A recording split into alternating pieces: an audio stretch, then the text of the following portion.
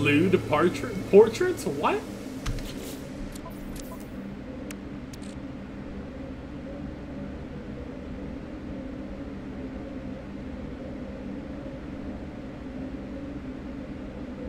I found lewd portraits. Wow.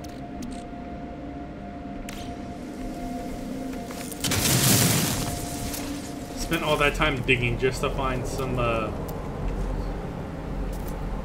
Just to find some fucking hentai.